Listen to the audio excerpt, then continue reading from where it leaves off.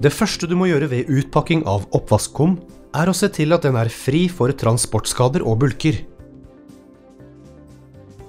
Dersom kunden oppdager defekte deler ved et ferdigmontert kjøkken, og du som montør ikke har rapportert dette, kan du ende opp med erstatningskravet. Vedlagt oppvaskkummen finner du utskjæringsmålene. Denne informasjonen må du sjekke nøye.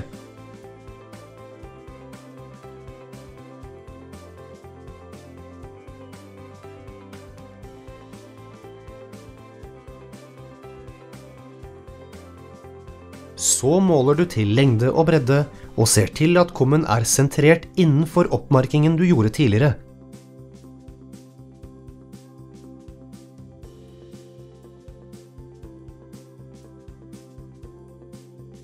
Deretter tegner du en strek rundt kanten av kummen.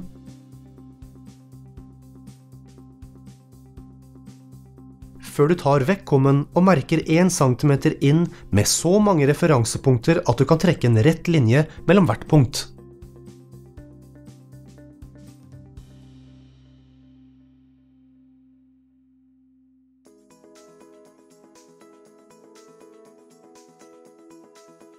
Du trekker så opp linjen til utskjæring.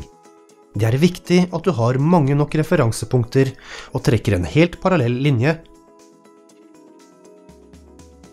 Om du skulle kappe feil eller fornærme ytterlinjen, må du i verste fall bytte hele benkeplaten og starte på nytt.